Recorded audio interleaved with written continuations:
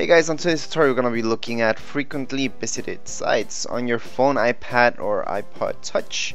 So, uh, whichever it is, just go into Safari you're going to see frequently visited, right? And you want to get rid of them. So all you guys have to do is actually just press on any of them. So for example, I'm just going to press on this one and I'm going to let go. Once I let go, I'm going to see this option to delete. Just press on delete and that's how you can get rid of every single one from there. Um, so I know frequently visited can be annoying because you might go into one and then it stays there so you guys want to get rid of that and that's the way to do it. So once again all you guys have to do is just press your finger on one and then just select delete and that's it. Okay it's the same thing for anything up here okay?